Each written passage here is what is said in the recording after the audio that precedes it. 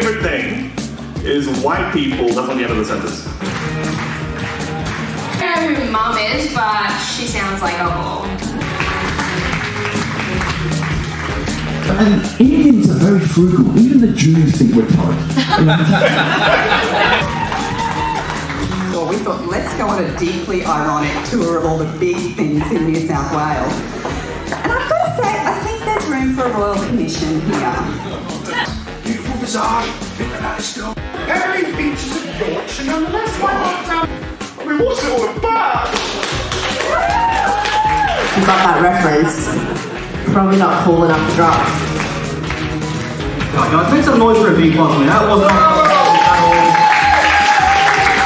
Oh.